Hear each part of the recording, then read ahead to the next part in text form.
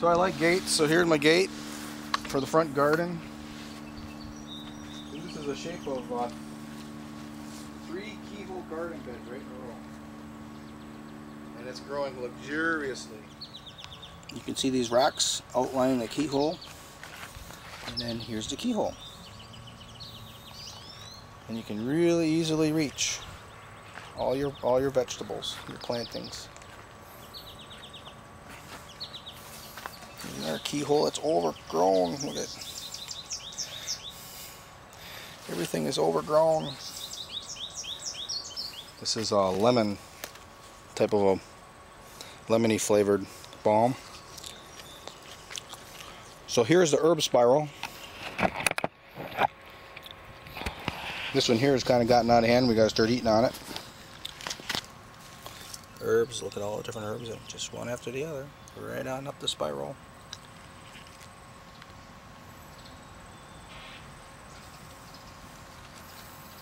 The top we have rosemary.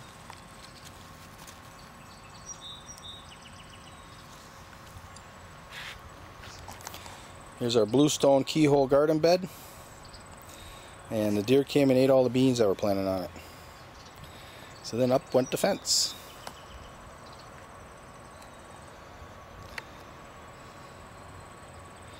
And here's a brick keyhole garden bed. These are recycled bricks from a big building they're tearing down in town. They're sand bricks that were made in 1904 right here in Manitowoc. That keyhole inviting, you want to sit your knees right in there and get to planting. Behind this bluestone keyhole garden bed we have uh, two apple trees planted, three hazelnut bushes, a number of gooseberries, currants, goji berries, and um, a pear tree, little pear tree, dwarf. So hopefully that all gets along. Here we have blackberries planted, and behind that are grapes, and the grapes are going to grow up the fence.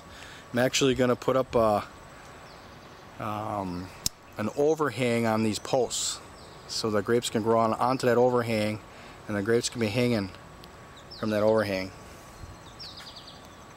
That'll be interesting. Right now I got four grapevines in here and I'm going to add a couple more. I'm going to look to overplant it with grapes and then heavily prune them on the way up and let them just, the winter takes all at the top. And then the blackberries here will be underneath and we'll get a harvest from the blackberries and they're doing very well too. Friend uh, is moving and he says you can have them. Go dig them up. I went and dug them up. I planted 12 in here, but I could see two of them aren't coming up. And we're gonna have 10. Like right there's one that's not doing anything. Oh, and then I planted a surprise plant in here. Oh, let's see if I any of them growing. Where the heck are they? Gotta be something in here somewhere. Here we go. That is a Schisandra vine. So I raised that myself by seed. There's quite a few of them in here. I think I planted 10 or 12 in here. And I don't I thought there was another one down in here somewhere. That deer might have came and ate them.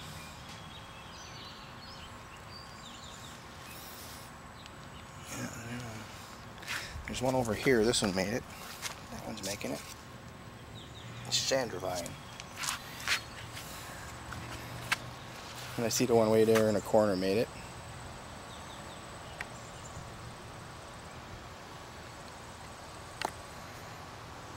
So the number of those make it, that'll be a addition to the harvest. Okay, let's go to the back. This is what I call the garage garden. Gated area. Right there you have uh, yacons growing. First time I ever tried those. Doing pretty well. I got it mulched on a, on a bed, raised bed. And then, see what else we got in here. Got a line of hot peppers in here. I think there's some sweet peppers too, but we're gonna get a harvest. Some clover growing in here that I've allowed to grow. Right here I just planted um, fall radishes and I'm protecting them from the birds and everything. You see they're just starting to come up. Right there. This whole bed is interspersed with the seeds. Different types of radishes too.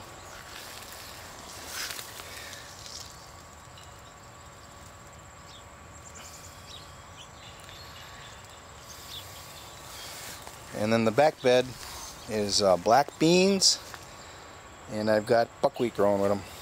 I'm letting the buckwheat go to seed. I'm going to see if I can harvest some of it and then plant it next year. See how well it works.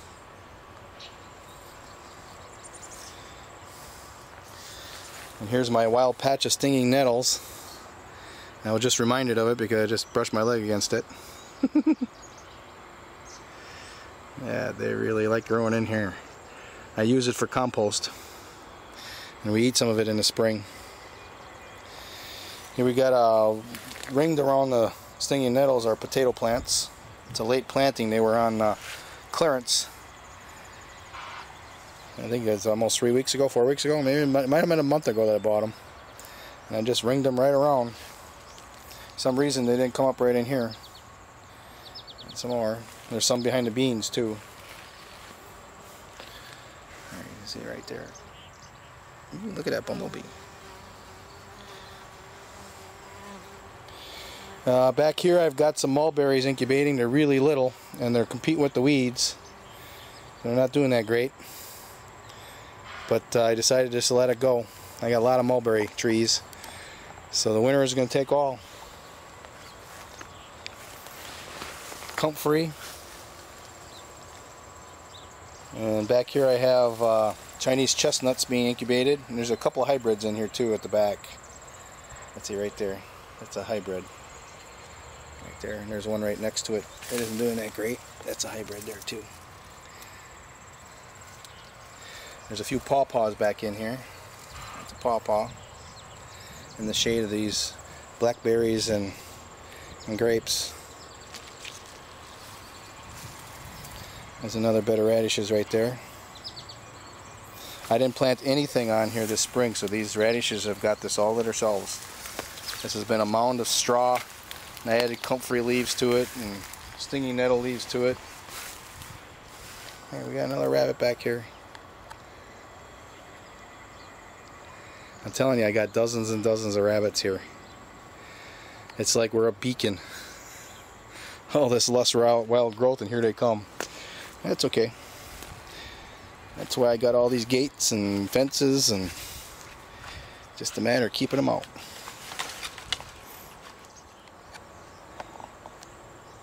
I didn't grow, put the gate in here yet, but I'm working on it. You see this side I got uh, a wire fence in. Last year I had rabbits come in here and chew these kiwis right down to nothing. Well, they really responded to that, but I don't want them to chew them down next year. So the one male kiwi, he's over the garage roof already.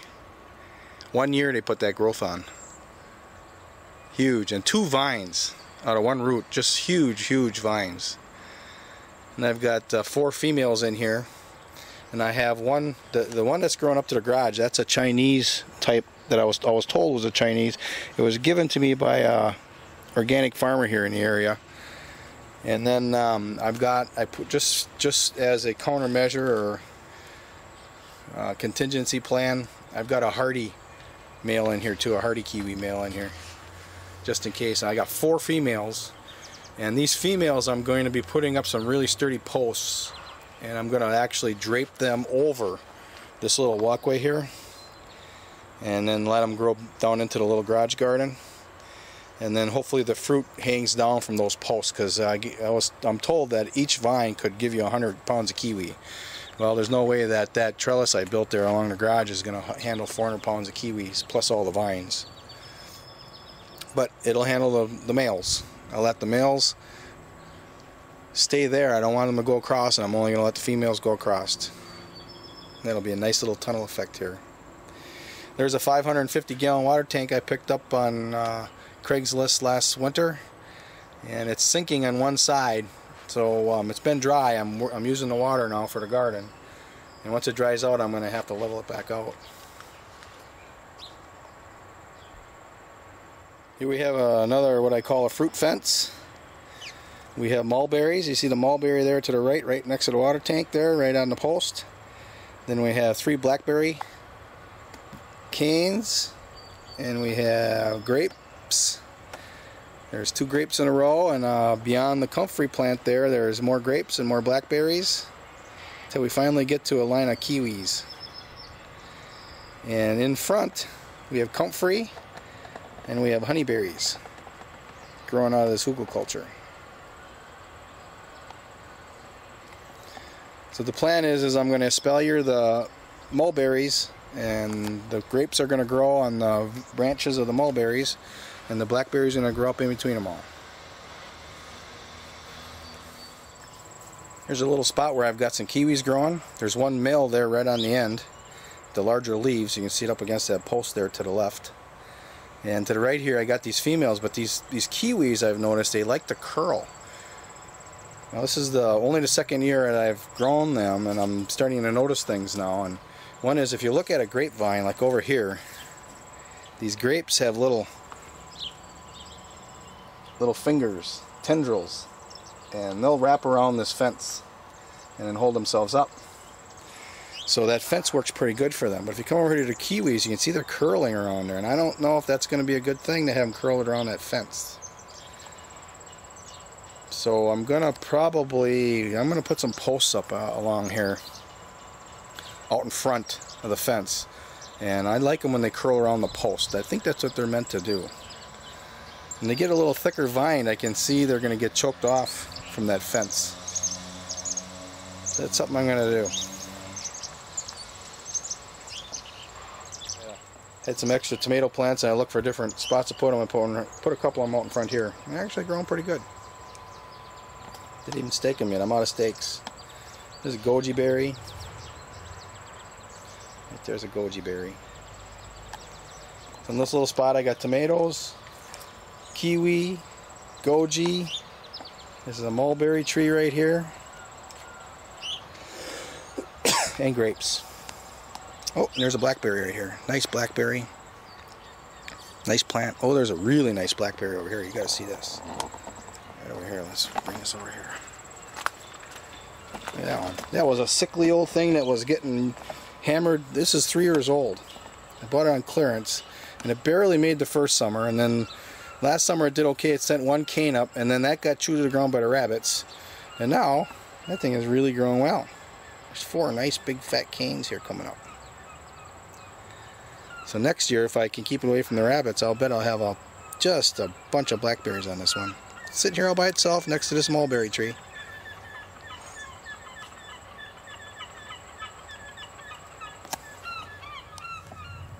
So this is the back of the shed.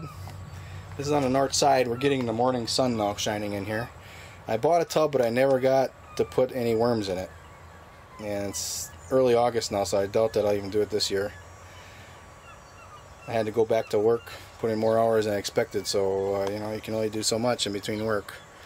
Then I built this pedestal for this 210 gallon water tank, and the back posts are sinking in the ground. So as soon as it's empty, and it's been a dry, dry July, and I'm working on this water, and I, this uh, all indication are we're gonna have a dry August too. So all this water will be out of here then I'll, I'll actually cut the front two posts down. I'll level that back out. But it receives water from this little shed. It's not a huge catchment, but it's not a huge tank either. I'm looking for another one. I like to put another one up here too, right alongside and then get another tub underneath that. I have two worm farms going. Beyond the worm farm, you can see I got a anaerobic compost bin.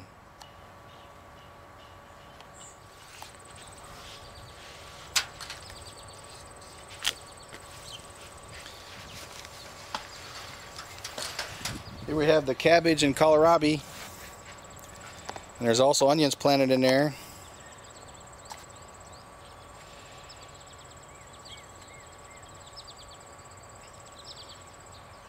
I've been harvesting a kohlrabi every day and these last ones are getting monstrous. Let me show you this.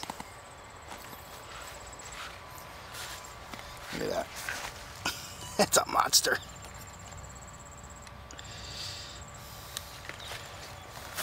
There's two monsters growing together. And they're just as tender. We got cabbages. Some cabbages growing in the back.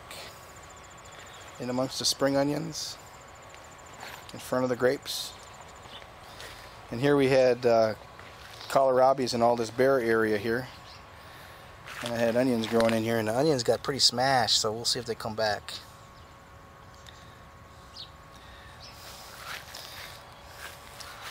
And here the onions are doing a little better here. This is all kohlrabies.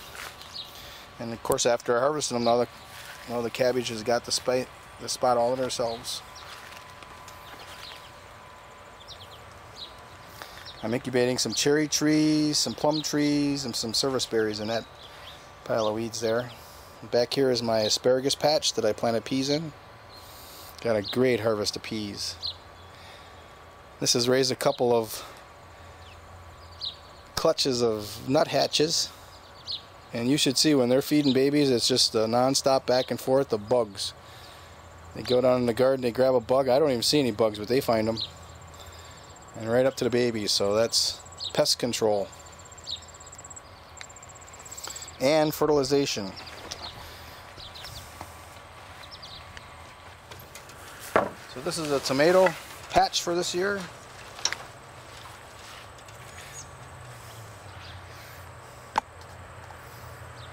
growing marvelously lush there's also peppers in here and borage There's a nice borage plant. And milkweed. I've actually seen quite a few monarchs this year where I didn't see them in years past. You see the tomatoes. Get some really nice ones coming. The whole patch is full. Here's some that are yellow. This one's probably ready to eat. Look at there. Look at that. Here. First tomato of the year for me. I'm going to eat it right now. Mmm. Oh, it's sweet. So again, I got borage plants planted in there as a companion plant. And there's peppers in here. I did this last year and the peppers didn't grow that well, but they all gave me a crop. And the pepper plants are actually uh, companion plants to the tomatoes. Here's one right here. Oh, we're going to get a crop off that one in the front.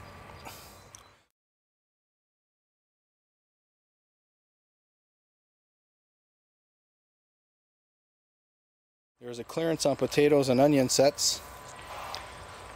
So I got some of these um, containers out that I was delivered with trees in it. I planted the trees out and I just went and planted them in there. There's onions. The potatoes are like 29 cents a pound for seed potatoes and uh, there was 100 sets in there for I think it was 39 cents or something. So I bought 500 sets and I planted them all over the place and I planted some of these containers too.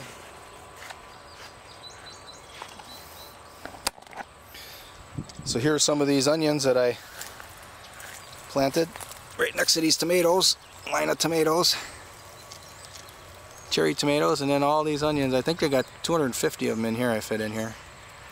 I'm not going to eat them as bulbs. Well, maybe the last couple will bulb up. But as they grow, I'm going to be taking them as scallions. I found a place for them.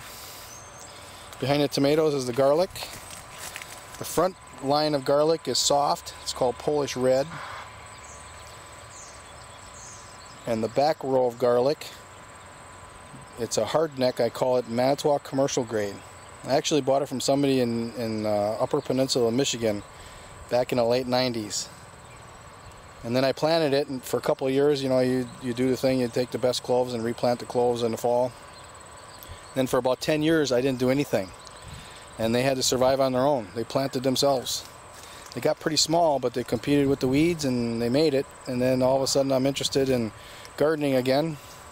Four or five years ago, and I began to do the glow thing, and they just popped right up into being the same big, huge uh, garlic that I've been, that, you know, that I purchased from those from that farm in Upper Michigan.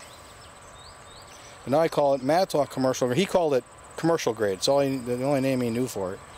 But now I call it Manitowoc commercial grade because it is acclimated through that wilding process I put it through. 10 years of no care, no replanting. And the best survived. If it was weak, it died. Here's the other row of uh, Manitowoc County commercial grade garlic.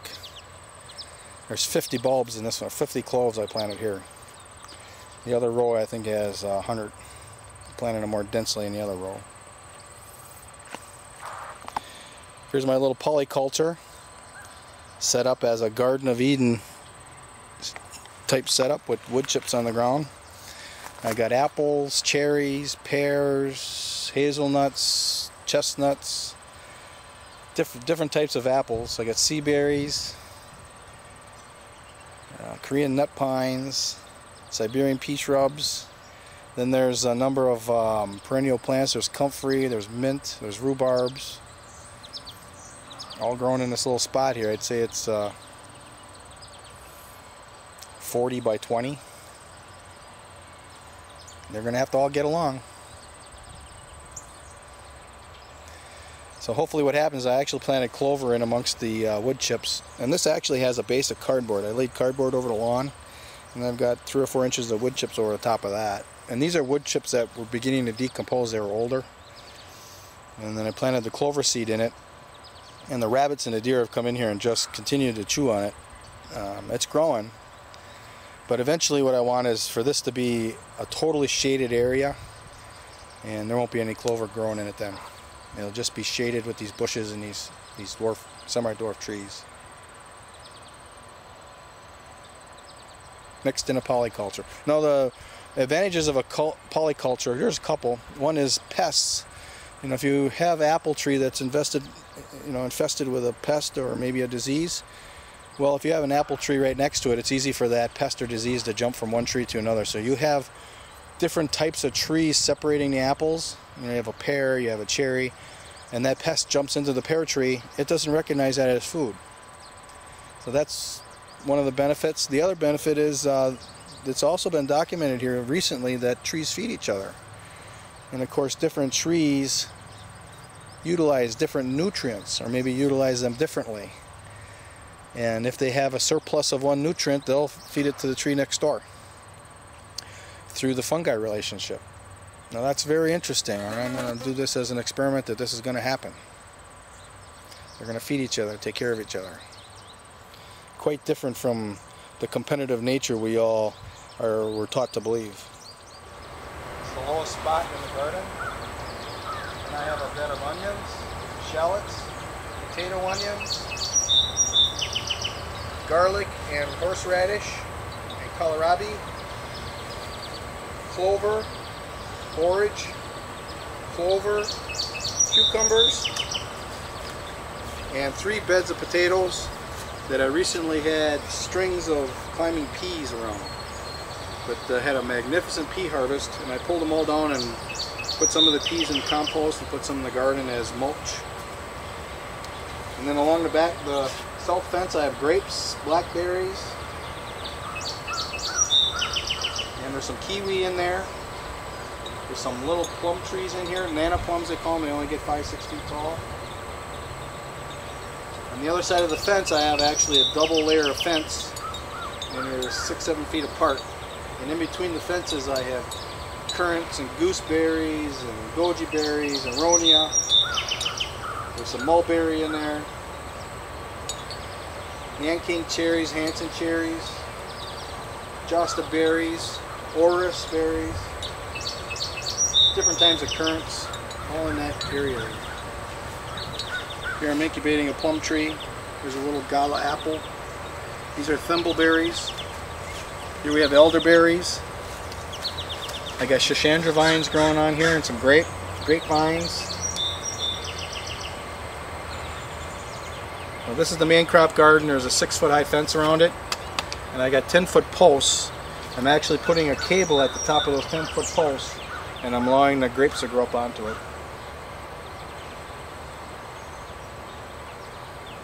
Looks good. Everything looks good back here.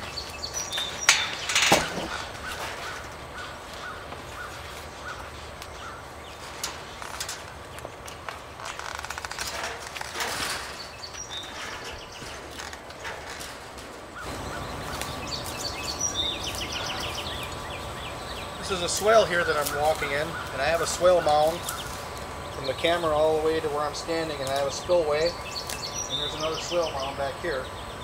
This swale mound has uh, chestnuts growing on it, and cherries, and then the cover crop is birdsfoot trefoil. Got a few onion sets in here. And uh, before swale mound, I've got blackberries and chestnut, buffalo berry, sea berries. Put some tomato plants in there, some borage plants, pepper plants, a plum tree, more sea berries, winterberry, winter winter green. It's all on this top swale mound. And I got some clovers growing in between them as a cover crop. So this is the other direction in front of the main crop garden. Now we're pointing towards the south, whereas the other one we're pointing north. This is a shorter section. But on the swale mound we have birdsfoot trefoil, we have sea berries, we have a plum tree, we have two European hazelnuts, we have a number of goji berries, and then on the left I'm incubating uh, 20 Russian apple trees. These are the only apple tree that has a taproot. I'm going to dig them up and plant them up north on the wildland this fall after they drop their leaves. In the corner I've got a Siberian pea shrub, a hazelnut bush, pear tree, uh, hybrid, chestnut, mulberry, sweet crab apple, there's a sea berry, there's a buffalo berry, there's a Hanson's cherry, all in that little corner here, right up, right out tight against the, the fence. All together. We're going to see how they grow together.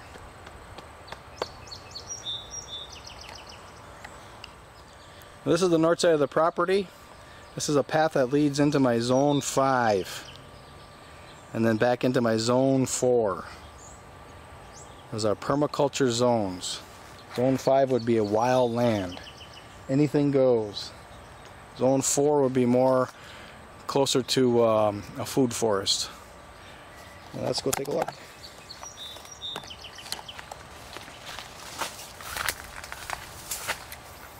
here we are in zone 5 just a bunch of plants. This the overstory here is black walnut. There's there's one two three four. There's four trees. One very mature tree and three of them that are close to giving nuts. Actually one of those three is I can see nuts on it right now. This is not the most mature tree but it's got a nut on it. Got nuts on it there. And um, three of the trees are on my property the main one is on the neighbor's property. So we're walking through here and I've got a American persimmons planted here in the shade and it's doing very well. Oh and I got a chestnut tree over here growing in the shade being overcome by all kinds of weeds but it's growing. So we're just gonna let it go see what happens. Most saplings got to start the same way. Heavy shade I have another chestnut tree back in here, but that one died. Now we're in the jungle. Weeds are growing. See, I got a bunch of logs here on the ground just to leave them stay here and rot. There's a pawpaw tree in there in that little cage back in there. It's getting ate up and it's got all kinds of problems, but it's growing and it looks green. So we're gonna let her go. Here's another American persimmons, and persimmons and pawpaws both aren't affected by the black walnut chemicals. So this is really deep shade here, and you see it's growing pretty well. This is the second summer. Here we have a currant bush growing in the shade. Look at the nice currants on it. Look at that. This is, I think this is a Japanese heart nut. And then one of these is a butternut. That might be a, I think that's a, a Korean, no, I think this is a Korean, a Korean chestnut. That's what I think that is. And this is a Japanese butternut or heart nut. Geez, I gotta remember. So here's a Russian apple I stuck back in here with the taproot. Here's an aronia, and the deer come in here and just eat like crazy on it. There's another currant, currant that I planted in here. This is a baby. And this here is going to eventually be my zone four. I got a, I'm a, I got planned for a forest garden in here, and these are going to be taller trees. In the front on the south edge, I'm going to be putting in a little patch of pawpaws, and then from there it's going to be progressively higher. And um, I've already started a little bit. I've got, um, here's a American persimmons right here. This is growing a little better, it's getting more sunlight. And I got some Chinese chestnuts. This is the, the northwest side of the property here. There's a Chinese chestnut there. There's one down here. And eventually, you know, they're going to shade all these weeds out. So we're just going to let the weeds do their thing. And what they are pioneer plants. And their roots grow and their bodies grow and then, you know, in the fall they die and go, go, go back to the soil. And they build soil. I got some black locusts behind the chestnut trees. So I think there's three of three, four of them in here that made it. And here's another black walnut.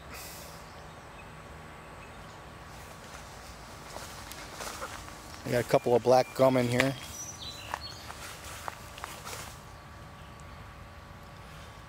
And I've got a line of uh, black gum and black locusts planted really close. This is the very northwest corner of the property here.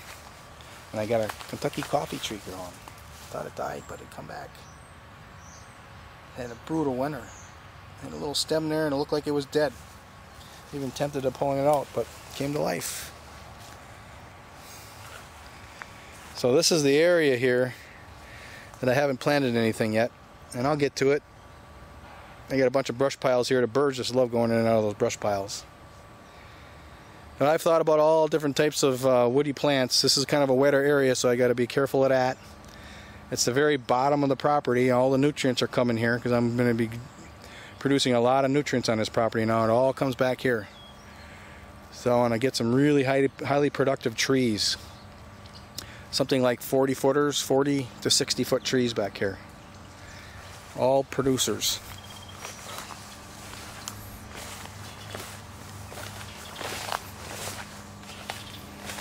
Right now it's just to weed and it's building soil. Here I got a pawpaw and I did something here that result, uh, resulted in a negative reaction. I've got five pawpaws back here that are in tubes. You can see they're growing in the tubes okay. That's one tube there. Here's another tube over here. They're getting ate up, and I thought, well, I'm going to take the tubes off a couple of them, see what happens. Maybe they'll grow a little better, but it actually grew worse. They're so used to that tube, when they got the sunlight on them, it just burnt the leaves right up. So I thought about putting tubes back, but I thought, no, we'll see what happens. See if it comes back better next year, or if it dies, or what. But I can always plant more pawpaws. So it's kind of an experiment. And then remember I was talking about earlier, I had a bunch of potatoes that I got on clearance, seed potatoes. I've been digging a pit back here. I've been taking this soil and bringing it up to the top and adding it to my garden soils. Well, I decided to throw those potatoes in the pit, and I covered them up with uh, some dirt and a bunch of weeds, and they're coming up. So we might get a harvest there. So that's the land that's being built up. I see yarrow, I see goldenrod, I see Joe Pye weed, um, catnip, lots of burdock just building soil. This is the space between the fences I was talking about before. I got all the fruit fruit bushes uh, planted in. Oh, I got June berries too. Here's a June berry. Right inside the fence. That's an aronia bush. Gonna get a couple this year. This thing was loaded last year, but deer came in and really hammered it.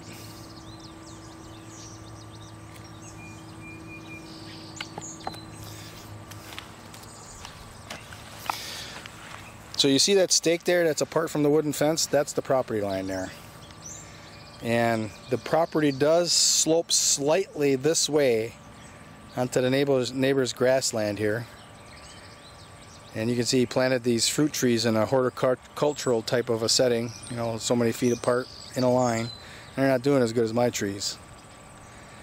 But anyways, what I did was I dug a trench here on the outside of my wooden fence and I filled it with logs. And a tree that fell blew down in the back. So I got one sticking out here in the end. But this entire spot here has logs buried in there and it's mounded up a little bit and I planted it with both alfalfa and clover. And as all the water and nutrients, if there's ever a big downpour, now most of it is going to get caught because I've got little earthworks all over the place now and get it to soak in all over, you know, where, where the rain falls. But if we had a deluge and it all kind of comes to this side of the property, this little mound is going to keep the water and the nutrients on, on my land. That's why I designed that there. I got a chicken wire fencing over my wooden fencing. That's to keep the rabbits out on the bottom. You can see I kind of came out here a little bit. So they, they come here to dig and they can't get in there. That's the corner. And then I got it loose on the top because raccoons don't like, you know, if they're caught, if they're climbing up here and they get this looseness, they don't like to climb on that. So they're not going to try to go over that. So the books say. And this is a double fence. And then there's my grapes. And then I got cables strung up on those 10 foot posts. So that's 10 feet high there. And I also read that deer don't like to jump over fences at that angle. And it's probably, actually it's a steeper angle that they're promoting. Because they can't judge it. They won't jump over. Defenses. And it does take a little work to put all this together. I've been working on this now, I think this is my fourth summer. Slowly but surely it's all coming into shape. It takes time. But the idea is, is when I'm retired, all that heavy lifting is done and all that's left is maintenance and harvesting.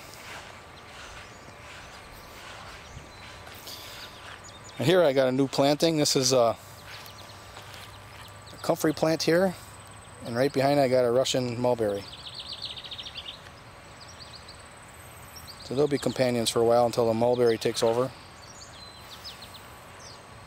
Here's another perspective from my little polyculture.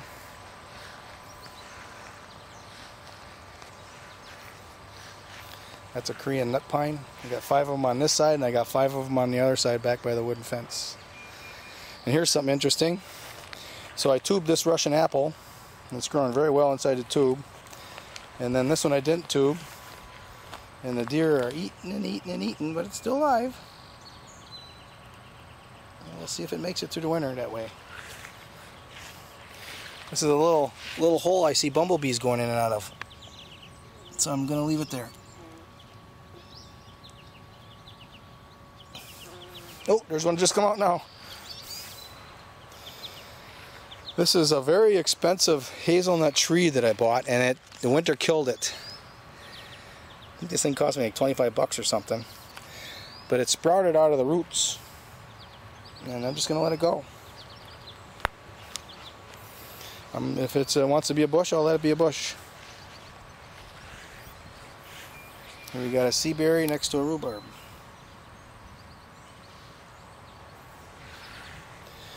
This is an almond tree that I planted and it died from the winter and it's also sprouting from the roots.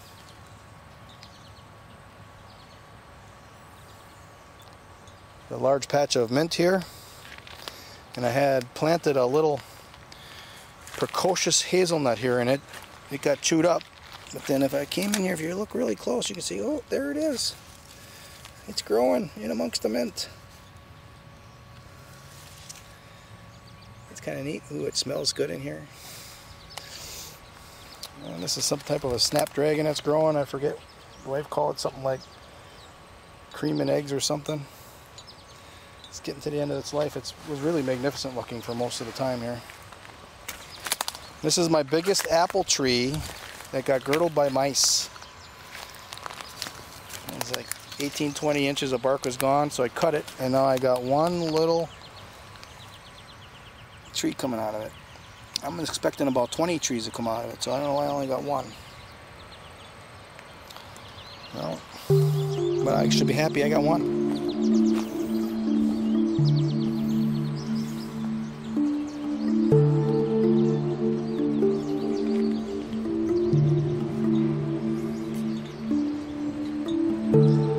Bestest apple tree ever did.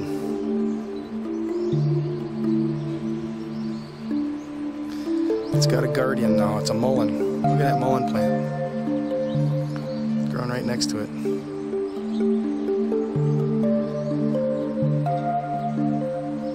It's a biennial, so it won't be there next year. That's one of the seeds sprout right there.